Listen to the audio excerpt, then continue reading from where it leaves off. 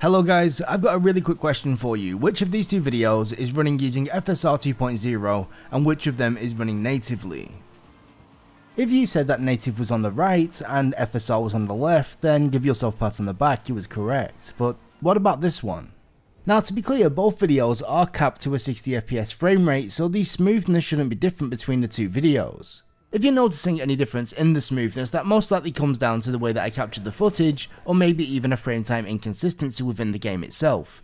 By the way, I haven't changed anything yet, and the FSR image is still on the left.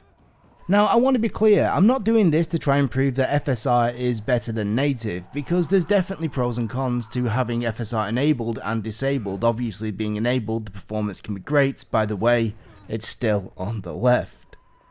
Rather, I just wanted to quickly demonstrate how far FSR 2.0 has come, whilst having a bit of fun at the same time. It's on the right this time.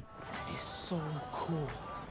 All of the native footage in this video was captured using our Sapphire Nitro Plus RX 6800 XT graphics card, whereas all of the FSR footage was captured using the Sapphire Nitro Plus RX 6700 XT instead. I do actually find this bit of footage quite hard to tell the difference between, but it is back to what it was at the start, and FSR is once again on the left. By the way, if you're trying to outsmart me and guess which one I'm going to put in which position, I wouldn't bother. I actually let a random number generator dictate the place of each video, so good luck with that. It's on the right this time. To be completely honest, I have to admit I was a bit of a skeptic when it came to resolution reconstruction, all the way up until I saw FSR 2.0, and since then, I'm convinced that this is the future. It's once again on the right.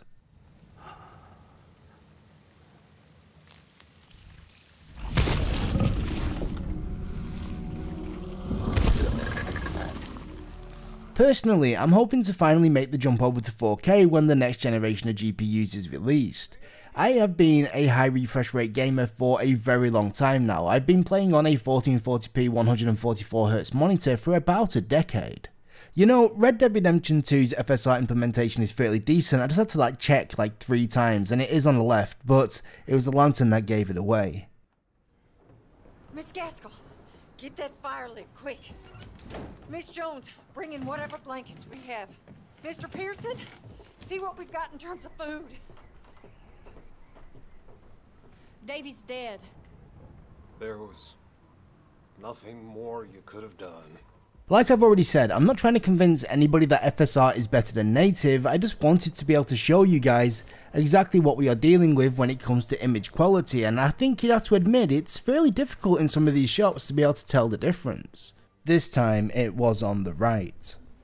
In a moment, we're going to jump into a kind of rapid fire round with pictures, but before that, if you've enjoyed this video, please don't forget to slap that subscribe button and ring that bell so you'll be notified of our future uploads. So let's get right to it. Oh, and this was on the right.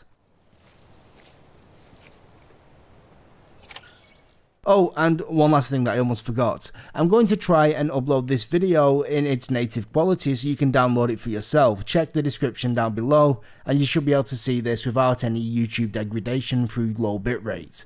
But yeah, onto the quick side by side. And this one was on the left.